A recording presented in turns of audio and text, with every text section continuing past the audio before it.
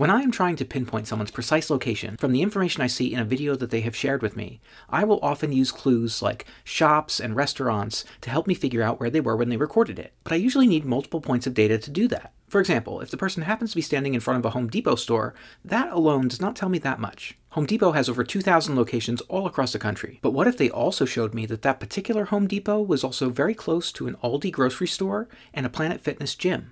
Well, that would be far less common. In fact, in some cases, a combination like that can be enough to uniquely identify a place. Because that seemingly random collection of businesses in close proximity to each other can serve almost like a fingerprint for that location. And one of the only places in the country where you find that particular combination of businesses is this shopping center in Joplin, Missouri.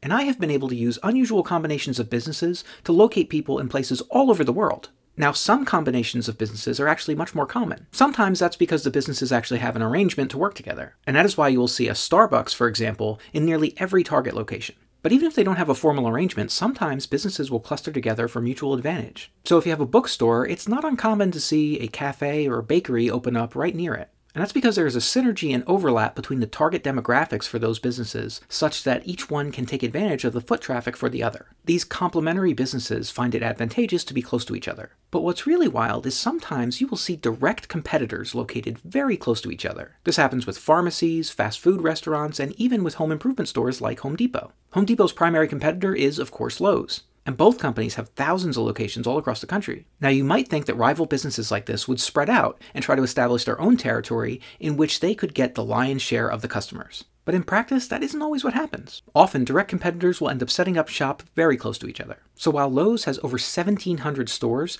nearly one in three, about 570 stores, are located within one mile of a Home Depot. So why do they do that? Well, there are several reasons, but one possible explanation comes from an economic concept called spatial equilibrium. Now, I'm not an economist, but fortunately I know someone who is. Jadrian Wooten publishes a newsletter called Monday Morning Economist. It's a free weekly newsletter that makes economics easier to understand using insights from pop culture and current events. Jadrian reached out to me recently when he was thinking about writing an article about this spatial equilibrium concept and how it drives competitors to co-locate. And I helped him out by providing some location data for different businesses to help him explain that concept. So if you want to know more about that, go check out the article. I'll make sure that there's a way to get to it from the Jose Monkey Place. So tell me, what businesses do you commonly see clustered together in your area? Do those combinations surprise you, or do they make sense for some of the reasons I explained? Let me know in the comments.